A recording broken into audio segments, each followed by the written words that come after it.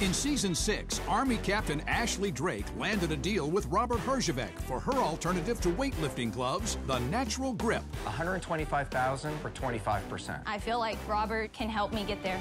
Let's see what she's up to now. I'm here in Carson, California at the 2016 CrossFit Games, and we've been selected as the preferred hand protection for all of the athletes.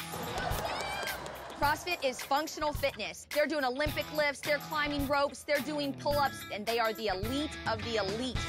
Now, why haven't you hired sales guys? Why am I telling you something you already know? Last time I met with Robert, we had a heart to heart, and he talked to me about increasing the sales staff. You know you need to do this. You know it.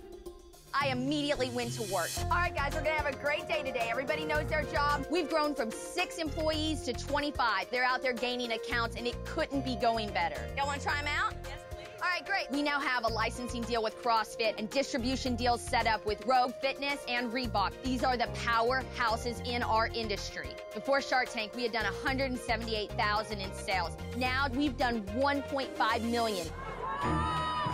I have one year left to serve my country, and I'm very proud that I've had the opportunity to be an Army officer. But it's time for me to move on and to make sure that the natural grip can be the best that we can be. It's been a long journey to get here. I just feel like I'm living the American dream. I could not be more proud to be part of all of this. One, two, three, natural grip!